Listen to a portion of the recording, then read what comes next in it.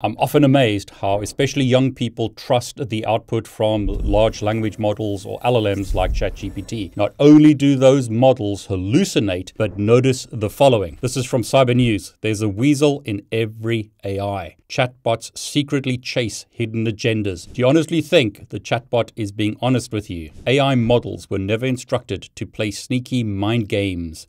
However, new research has revealed that they apparently lie, sabotage useful work, sandbag evaluations, and engage in other covert, deceitful scheming. Not only do they hallucinate, but they do all of that. Frontier AI chatbots like ChatGPT secretly pursue misaligned goals, a practice researchers call scheming. The rate at which chatbots engage in covert actions is also alarmingly high. So, in a study conducted by OpenAI, a leading developer of large language models, and Apollo Research, a safety organization, they found that OpenAI's O3 model had a 13% covert action rate, while another model schemed at 8.7% of the time across 20 test environments before any anti scheming measures were applied. So, ChatGPT's cunning was observed in its thinking process. For example, the model faked being dumb when researchers asked it to evaluate itself to determine whether they needed to continue training it. The model intentionally provided lower scores, acknowledging the sabotage in the reasoning step. Given an impossible coding task, the model realized it was impossible, but claimed to fully complete it anyway. Models were also observed breaking many rules, like falsifying surveys or input data, or secretly modifying protected configuration files while lying to users about what they had actually done. They also doubled down on their lies when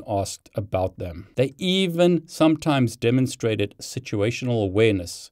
They act better when they realize researchers are evaluating them. You can go and read this report if you're interested. Stress testing, deliberative alignment for anti scheming training. But it's a bit worrying, I think. Notice here, and we'll end with this despite developers' intentions, all frontier models developed different goals and consistently engaged in deceptive behavior to pursue these goals. Do you honestly think it's wise to give these models your personal data and trust what they're telling you? Personally, I would be very careful what LLMs tell me. They're hallucinating. This is different to hallucination. This article from Cyber News goes into the two in more detail. These LLMs are secretly chasing hidden agendas in addition to hallucinations. Be careful trusting what they tell you.